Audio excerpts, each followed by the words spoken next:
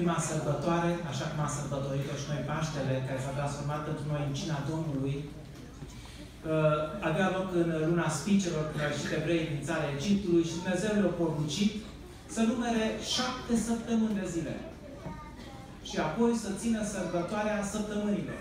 Acelor șapte săptămâni sau, cum se mai numește, sărbătoarea 50 acele de 50 a zi, care era o sărbătoare a primelor roade, de închinare înaintea Domnului. Uh, Dumnezeu a rânduit ca în cadrul acestei mari sărbători, poporul Israel, unde toți se adunau la Ierusalim să se închine, să aducă din făina lor să închine înaintea Domnului și animale, a îngăduit ca în această sărbătoare a întilor roade să aibă loc întâiele roade din biserică, să se înființeze Biserica lui Hristos. Lăuda să fie Domnul.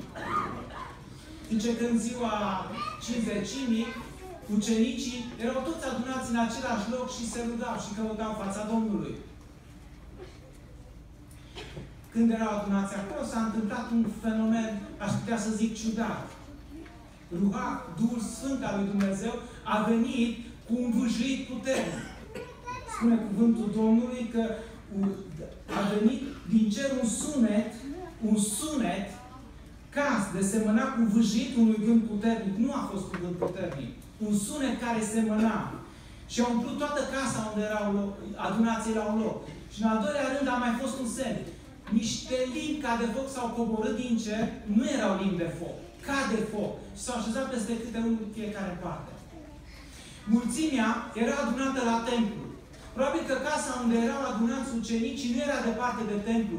Pentru că marea mulțime, mii de persoane sau zeci de mii care erau acolo adunați la templu, au auzit și au văzut. Deci nu a fost la o distanță foarte mare de templu casa aceea unde era adunat. Și toți au lăsat templu și s-au dus acolo să vadă ce e, ce se întâmplă cu acest fenomen ciudat. Duhul Sfânt a socotit de cale împreună cu Dumnezeu ca așa să se pogoare prima dată peste ucenici. În timp ce uh, s-a poborât Duhul Sfânt, mulțimea se pare că a ajuns destul de repede, ucenicii toți vorbeau în alte limbi, așa cum s-a zis dimineața, limbi omenești, limbi înțelese, lucrurile minunate ale lui Dumnezeu, nu știu, eu m-am gândit, probabil cel mai minunat lucru al lui Dumnezeu a fost jertfa lui Hristos. Planul de mântuire al lui Dumnezeu, nu știu sigur despre ce vorbeau, dar în orice caz, profețeau și vorbeau lucrurile minunate ale lui Dumnezeu.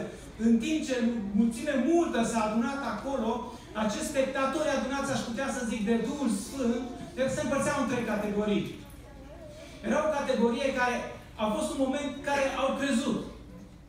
Au crezut că a fost manifestarea lui Dumnezeu dată în mijlocul poporului Israel și i-au întrebat pe Petru și pe ceas, fraților, ce să facem?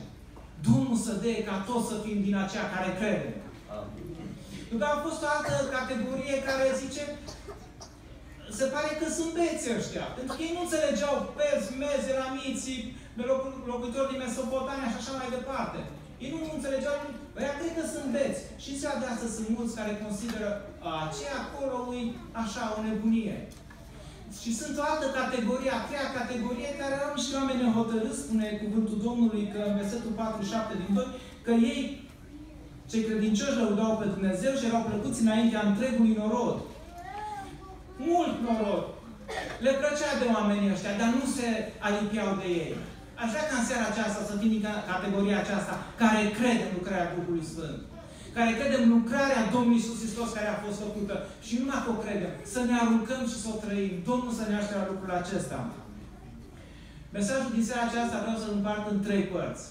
S-a citit predica lui Petru din ziua de Rusal.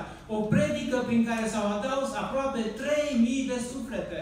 Un mare număr de suflete. Așa, oare despre ce o predica Petru? Care a fost mesajul lui principal? Aș vrea să vedem câteva puncte din predica lui Petru. După aceea aș vrea să vedem avantajele pe care noi, ca credincioși, le avem dacă trăim în plinătatea Duhului Sfânt sau în botezul cu Duhul Sfânt. Și în al treilea rând, vreau să vedem câțiva pași care noi trebuie să-i facem ca să avem plătatea Duhului Sfânt în viața noastră. Folosim expresia botezat cu Duhul Sfânt. Botezat cu Duhul Sfânt înseamnă umplut cu Duhul Sfânt. Scufundat în Duhul Sfânt. Duhul Sfânt se revarsă în sufletul omului și o să vedem avantajele care rezultă din cadrul acesta. Uh, în capitolul 2, versetul 14 spune că Petru își începe predica din ziua de Ierusalim. Și după ce zice că oamenii aceștia nu sunt bezi cum vă închipuiți voi, că cine este decât a treilea ceas din zi, începe să arate oamenilor o promisiune a lui Dumnezeu, care a fost făcută din vechime. Și fiți atenți la promisiunea aceasta. Se spunea azi dimineață, mai este valabilă și pentru noi?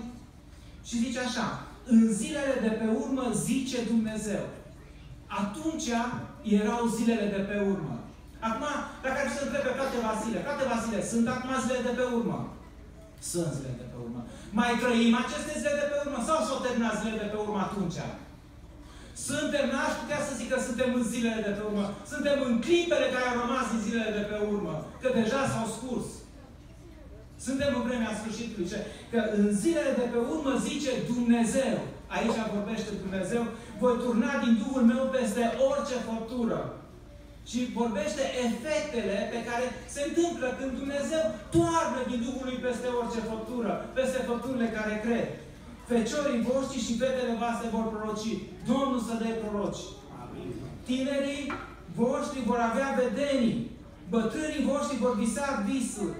Da, zice, chiar și peste robii mei și peste robele mele voi turna zile acelea din Duhul meu și vor proroci. Lăuda să fie Domnul. Eu cred că noi facem parte din robii și roabele acelea care prorocesc, care slujesc pe Dumnezeu, care stau la dispoziția lui Dumnezeu și sunt umpluți de Duhul lui Dumnezeu. Lăuda să fie Domnul. După ce uh, Petru predică, uh, reamintește o promisiune și vreau să recitești această promisiune. Pentru cine este darul Duhului Sfânt? Versetul 38.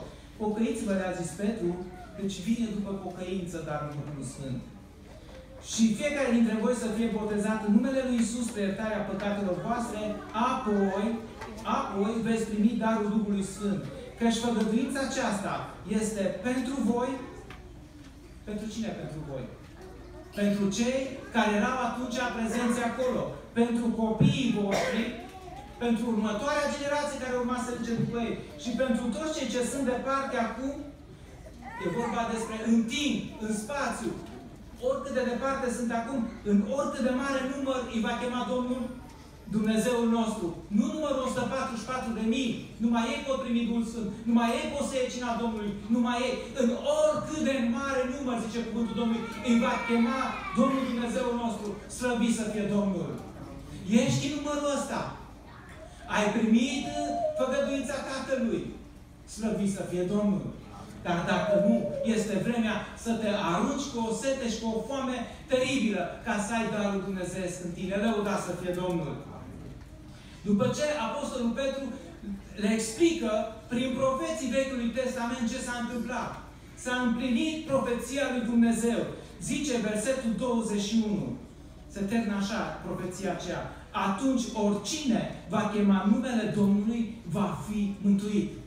Suntem în perioada în care astăzi încă se cheamă numele Domnului. Astăzi încă poți să fii mântuit, salvat, eliberat de judecata lui Dumnezeu. Frații mei, uh, îmi spunea Mariana că citise astăzi pe internet că un accident care a fost undeva în țară.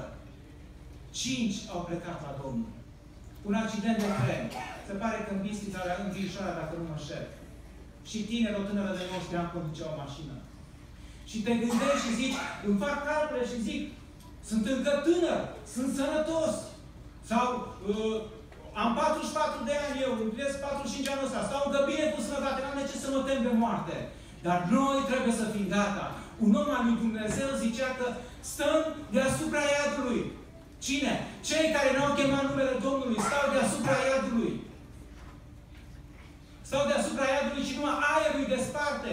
Și dacă ei stau acolo și încă nu cad în iazul de foc, sunt numai pentru că uh, Harul lui Dumnezeu, că mâna lui Dumnezeu și dragostea lui Dumnezeu încă îi ține. Și nu îi ține pentru că sunt frumoși. Îi ține pentru că uh, le dă har. Pentru că dacă am vedea noi grozăvia păcatului, așa cum o vede Dumnezeu, uh, poate că la cineva, eu nu știu, mie mi-e foarte greață, de exemplu, de șer. Mi așa am o, o chestie de șer. Dar poate că dacă vă e greață de șer, gândiți-vă la un lucru de care vă e groază și greață. Gândiți-vă că poate Dumnezeu de 200 de ori mai mult e groază de păcat decât e groază nouă de niște amărâte de pietăți.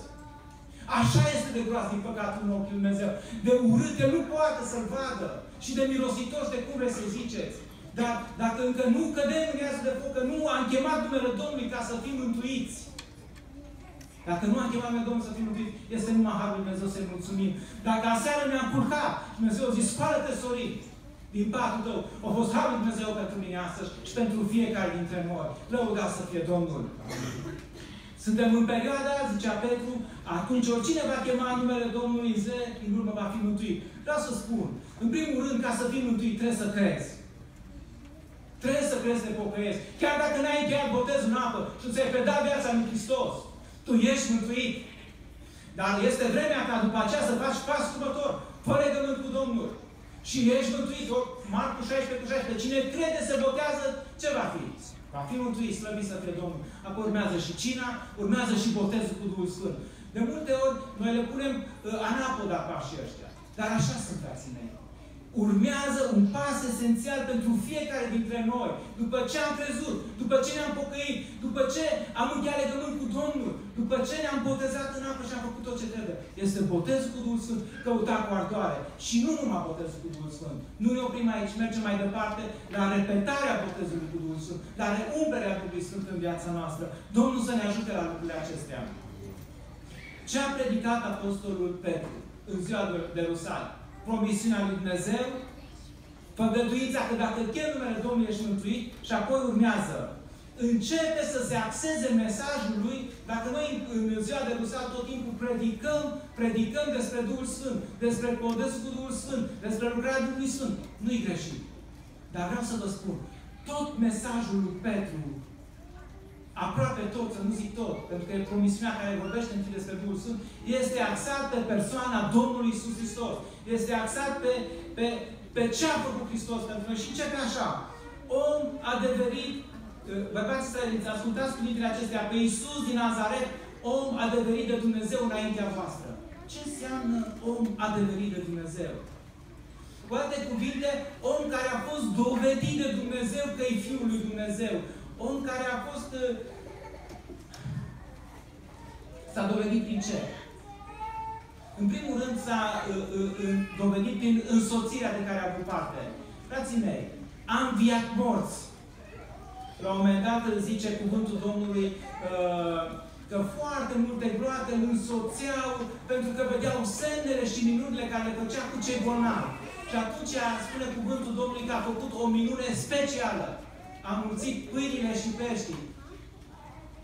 Minuni, peste minuni, vindecări, peste vindecări. Zice, om adeverit de Dumnezeu.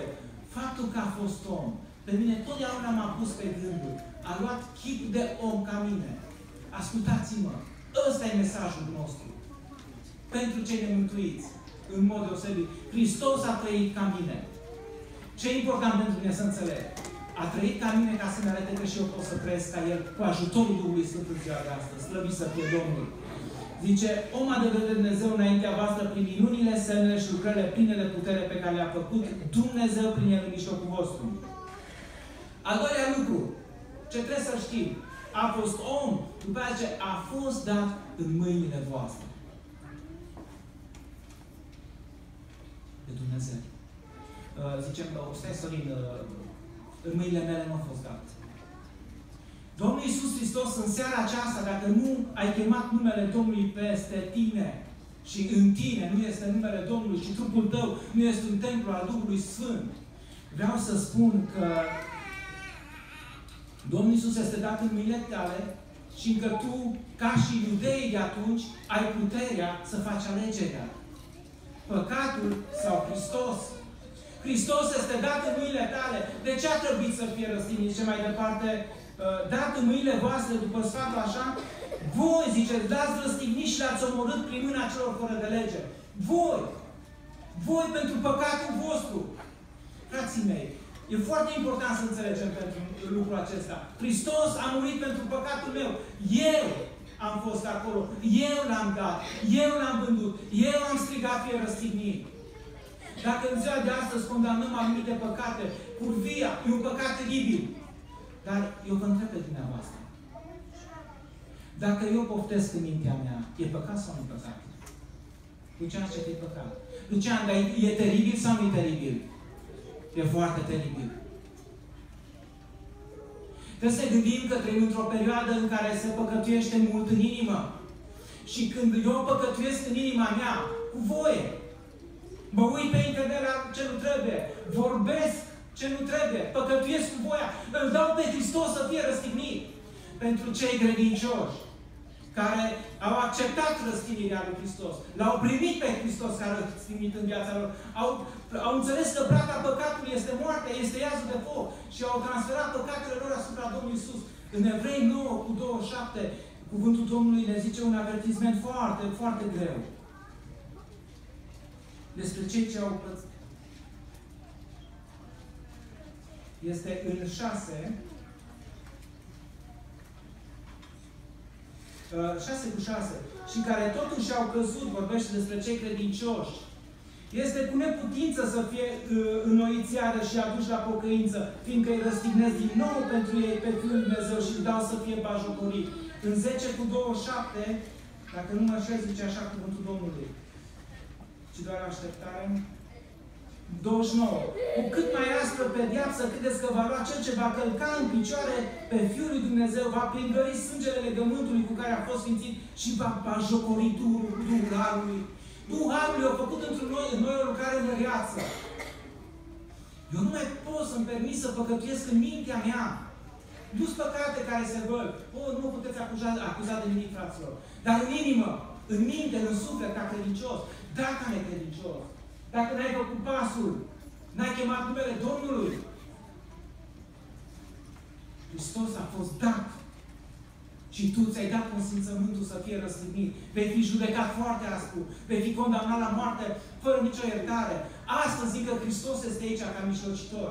Astăzi încă este ca mântuitor. Asta le zice Petru. Zice, voi l-ați răstignit și l-ați omorât prin mâna celor fără de lege. N-am fost acolo eu. Dar în Adam a fost și acolo cu păcatul meu. Și Hristos a murit și pentru mine și pentru tine. Lăuda să fie Domnul. Ce propovedește Petru mai departe în Rusalii? Învierea lui Hristos, slăvit să fie Domnul. A luat păcatele mele. Dumnezeu nu l-a ținut în mormânt. Nu era cu putință, zice mai departe aici cuvântul Domnului, ca moartea să-l țină. Pentru că jertfa lui a fost o jertfă sfântă, curată, o jertfă de plină. Pentru cel care o crede, o primește și o trăiește, lăuda să fie Domnul. Noi trăim prin jertfa lui Hristos. Noi suntem ce suntem prin jertfa lui Hristos. Glorie lui Dumnezeu. Glorie lui Dumnezeu pentru Harul lui Dumnezeu.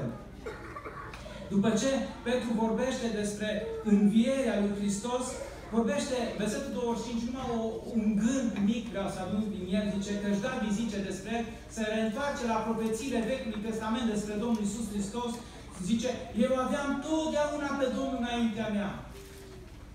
Uh, mie îmi place și mi-ar place și cred că la toți ne-ar place să facem minunile care au făcut Isus. Să vindecăm bolnavi. Eu am compasiune multă.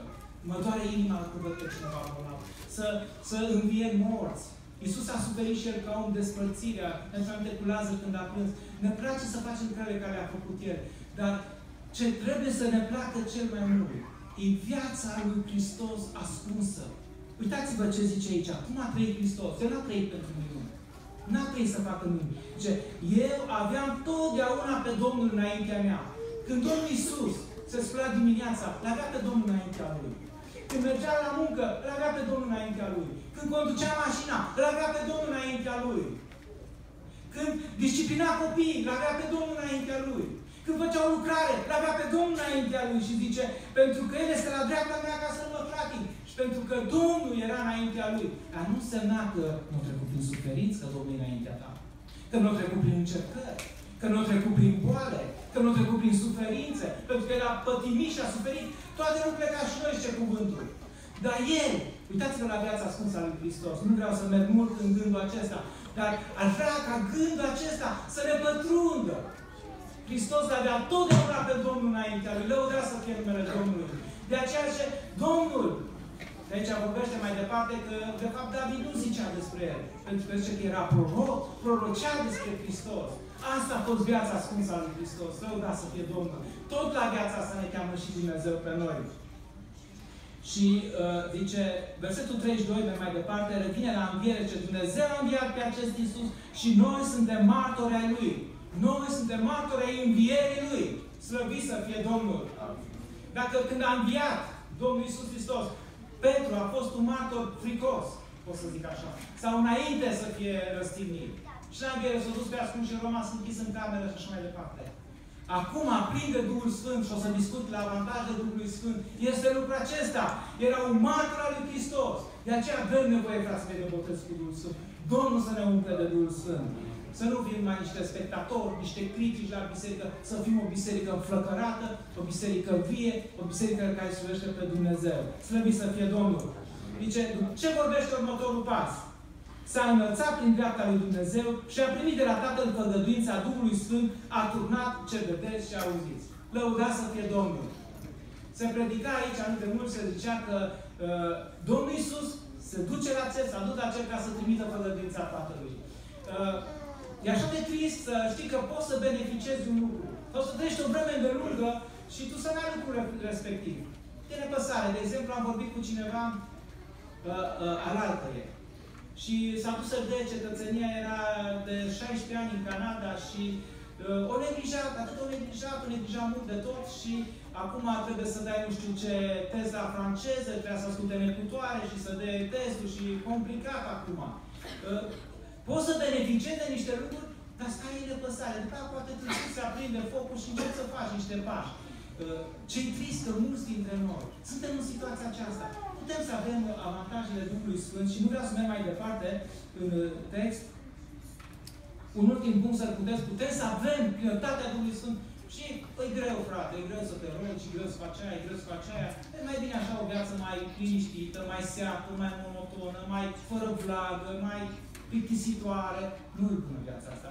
Un ultim punct din predica lui Petru și apoi uh, vin la avantajele botezului cu Duhul Sfânt. Să știe bine, dar toată casa lui Israel, că Dumnezeu a făcut Domn și Hristos pe acest Iisus pe care voi l-a stignit, slăvit să fie Domnul. Astăzi El este Domn și Hristos. Este Mântuitor și Judecător. Cine n-a venit la El, ce în Milan, este deja judecat. Pe viața veșnică ia de foc este lui. Dar cine a venit la El, este copilul lui Dumnezeu. Mi-am notat câteva avantaje ale Duhului Sfânt. Zice, în momentul când primești botezul cu Duhul Sfânt, vreau să vă spun ceva. Deci pentru când au predicat, o predicat pe Hristos. Om uh, răstignit, uh, îngropat, înviat și Domn. Zice, primul lucru important, când primești botezul cu Duhul Sfânt, Iisus devine mai real pentru tine. E mai mult de cât prima credință pe care ai primit, când ai primit nașa din nou și ai început să vezi în cele spirituale, ai început să crezi în viața veșnică, ai început să crezi adevărul în Hristos, la plinătatea Duhului Sfânt, real devine Hristos. Deosebit de real. După aia, ai o sensibilitate spirituală care crește. Observi mai ușor păcatul. Uh, simți când e o împotrivire din partea celui rău, imediat simți Duhul tău. E o sensibilitate care crește. Ai mai multă iluminare de Scriptură. Când citești Scriptura, altă Dumnezeu îți arată promisiunile și făgăduințele Lui. Altă credință se naște în tine. Avem nevoie de lucrurile acestea. Abilitatea de a se ruga în Duhul. Frații mei, Duhul Sfânt mijlocește pentru noi cu suspine negrăite. Duhul Sfânt se roagă în noi, în limbi. Când avem darul în limbi. E un avantaj deosebit să mijlocească Duhul Sfânt pentru noi în felul acesta. Domnul să ne binecuvinteze. Sfințirea. Sfințirea devine prioritate. De se numește și Duhul Sfânt, am mai vorbit odată aici. Este Duhul Sfânt, sfințirea vieții tale. Și atunci urmează reumbre și reumbre, devine o prioritate pentru tine. Manifestarea darului. Atunci se pot manifesta darul prorociei, darul vindecării, darul vorbirii, darul tămăcilor limbilor, darul minunilor și toate darurile Duhului Sfânt. În plătate, lăuda să fie Domnul. Și un ultim lucru care am notat, dar poate că n-ar fi cel mai mult ultimul lucru, poate că ar fi trebuit să fie primul. O mărturie dinamică. Pe când o primit Petru botezul cu Duhul Sfânt, nu mai fost frică de o slujnică. S-a ridicat în picioare la mii de oameni și cu curaj și îndrăzneală predicat, o prorocit și o zis Hristos este Domnul, lăuda să fie Domnul. Avem nevoie de Duhul Sfânt. Avem nevoie. Câțiva pași mărunți. În primul rând, asigură-te că ești creștin. Pocăiește-te. Predă-ți viața lui Hristos. Iisus trebuie să fie Domn și Mântuitor. Un al doilea lucru. Decide că vrei să primești botezul cu Duhul Sfânt. Decide în inima ta. Dar poate că ai încercat. A fost un timp de stăruință. Și eu am avut așa ceva. Și am fost descurajat că n-am primit. Și după aia m-am lăsat până a început chiar la biserică alt ciclu de stăruință. Nu e așa. Decide lucrul ăsta în mintea ta. Doamne, nu vreau să mă las până nu primesc. Domnul se naște la lucrul acesta. Pune suficient timp deoparte pentru a te ruga pentru asta. Roadă-te! Roadă-te! Roadă-te și vei primi. Dedică-te să fii un templu a Duhului Sfânt. Caută Sfințirea mai mult. Cere specific lucrul acesta. Rugăm pentru multe lucruri. Poate cel mai mult pentru familie, pentru copii, pentru serviciu. Roadă-te specific pentru lucrul acesta. Fă o prioritate în rugăciunea ta. Rămâi în închinare și în așteptare. Rămâi în închinare și așteptare. Nu s-o terminat stăruința. N-am primit. Aștept să înceapă biserica personal de zile altă stăruință. Rămâi tu și tu primești personal. Eu când am primit botezul cu Duhul Sfânt, nu era nicio stăruință organizată de biserică. A fost un mesaj care a atins mintea și inima mea și am înțeles că Duhul Sfânt, așa cum zice Petru aici, în versetul 38, da, apoi veți primi darul Duhului Sfânt. E un dar de la Dumnezeu și nu-l merit și nici nu l-am meritat niciodată. Și nici nu a să nu meritat niciunul. E numai darul lui Dumnezeu lăudat să fie Domnul. După aia, manifestă lauda, emoția și sentimentele față de Dumnezeu. Fii sincer, fii cum ești, fii, fii natural, așa să zic. Să nu fii ca sfinții de, de pe pereți. Să fii natural. Cred că vrea Dumnezeu lucrul acesta la noi. Copilul meu când vine la mine natural și zice natural și plânge natural de îi se înua de lacrime sub barbă câteodată. Dar e natural, nu e artificial. Și când îl simți de Duhul Sfânt, lasă-te controlat de el. Și asta e o problemă pentru mine. Că se pare că când le vine vorbirea în se înveștează gura și nu, nu mai pot să zic nimic, că nu vreau să zic că îmi conduce mintea. Lasă-te uh, folosi de Dumnezeu. Și Dumnezeu să ne binecuvânteze cu toții cu aceste lucruri. Amin. Amin. Doresc să ne ridicăm în picioare, vom cânta o cântare și vom închina apoi Domnului Gravă noastră de Dumnezeu.